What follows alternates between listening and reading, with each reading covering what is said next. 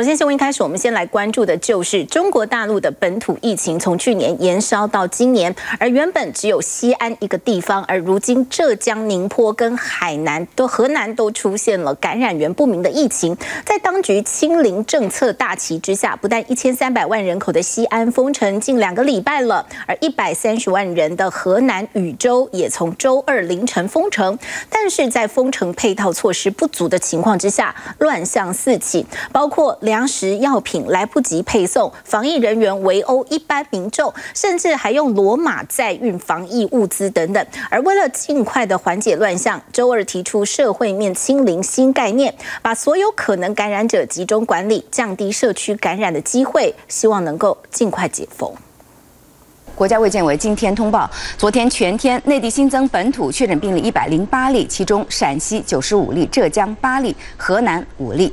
中国本土疫情从去年延烧到今年，而且爆发疫情的城市也从去年底封城的西安市扩展至当前的浙江宁波与河南禹州。其中，西安市全市一千三百万人因为封城被迫关在住所近两个星期，却因封城配套不足，各地旅船缺粮断药，民众骂声不断，各种封城乱象更是层出不穷，包括防疫人员围殴买馒头纸鸡的年轻人，甚至威吓对方交出手机。事件引来 CNN 关注。Of a man being beaten by COVID 19 prevention workers at the entrance of a Xi'an residential compound. The man was trying to enter with a bag of steamed buns. There is an altercation. The man stumbles. The buns he's holding, they scatter all over the ground.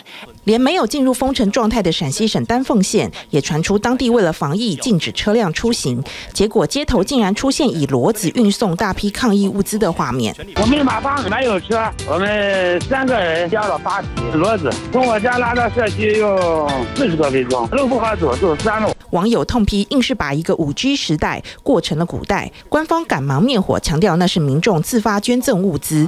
西安当局则为了平息舆论怒火，向部分住宅社区发送免费蔬果。这段配上音乐、明显带有宣传意味的人肉送菜影片，上周五发布后被炮轰作秀。网友痛斥当局把一个人与一辆手推车就能做好的事，交给二十八个人来做，不但浪费人力，更增加染疫风险。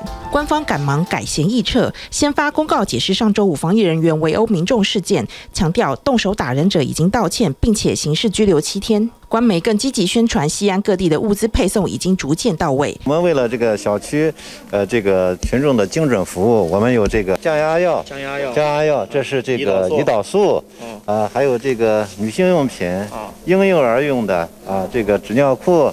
奶粉各种需求，我们都确保在这个群众居民的这个生活上精准配送、精准服务。为了让西安的封城状态尽快结束，官方周二起更推出一个新的防疫标准词，叫做“社会面清零”。社会面清零呢，就是说我们之后发现的所有的新的确诊病例，都在我们已经隔离的密切接触者或者是密切接触者的密切接触者当中。那么，在我们社区已经不存在这个社区面的这个疫情传播了。当局强调，只要能达到社会面清零，就可以解除封锁状态。社会面的清零呢，也就是意味着社区内呢没有传染源了，也就是为我们下一步复工复产、恢复正常生活奠定了良好的基础。这样呢，我们也就可以走出家门了。为了能尽快达成社会面清零，西安市周二起展开新一轮一千三百万人核酸检测，但因为用来记录核酸检测结果的手机软体一码通再次宕机，导致检测被迫暂停。北京当局为了不采取欧美国家与病毒共存、坚持清零政策，早前已经创造出包括动态清零等概念。我们现在的这个坚持的动态清零目标，并不是说呃零感染。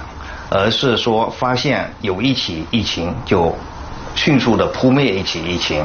啊，我们呃指挥系统始终处于一个应急的状态。然而，清零政策所需付出的社会代价极大。美国政治风险咨询公司欧亚集团周一公布的二零二二年全球十大风险预测中，直指中国大陆的清零政策是全球最大风险。First. What we're really writing about is is China. 因为一旦清零失败，中方恐被迫进入更严格的闭锁状态。届时不但损及自身经济，更会让全球供应链与通膨情势雪上加霜。尽管清零政策风险极大，但在北京冬奥还有一个月就要登场的情况下，中国大陆各地对于疫情的防控仍坚持采取最严格标准。例如，目前已经有三例无症状感染者，而且感染源不明的河南省禹州市，周二凌晨起进入封城状态，全市一百三十万人按下暂停键。至于一年一度为期四十天的中国大陆春运火车票，则选在周一开卖。今年的春运为了加强防疫，不但在车票贩售上增开了更多网上购买或退票改票的选择，减少实体接触，更加强车站与进出人流的防疫与检验措施。受那个疫情影响，那么我们今年推出一个需要绑定联系方式的这么一个功能，那么希望旅客呢来的时候可以自助在呃官方网站也好，小程序也好。都可以事先绑定好。在清零政策大旗下，中国大陆以严格手段与疫情对战之路还很长远。TVBS 新闻综合报道。掌握全球情势、国际新闻，全新选择 YT 频道 TVBS 国际 Plus，扩大视野。欢迎订阅并开启小铃铛。